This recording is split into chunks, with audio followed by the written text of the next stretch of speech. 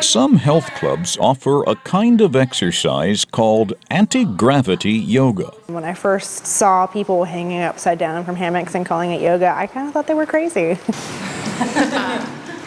but it ended up being a lot of fun and just the swinging, and it felt very playful.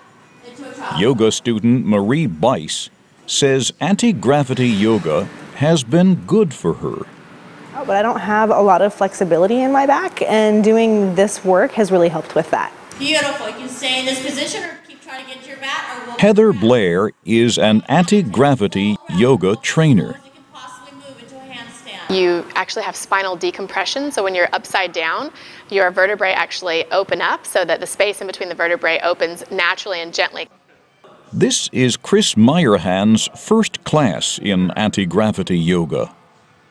I would like increased flex- flexibility, of course. I'm a guy, a runner, so my hamstrings are very tight.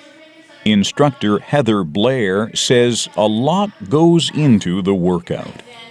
Anti-gravity yoga is a combination of Pilates, a little bit of yoga, aerial arts, and suspension training. So it's not just yoga. You literally could be of any fitness level. You can have injuries. It doesn't matter how old you are. Anyone can take the class. Christopher Harrison is a dancer, choreographer, and gymnast. He created anti gravity yoga. I created it so even my mother can do it.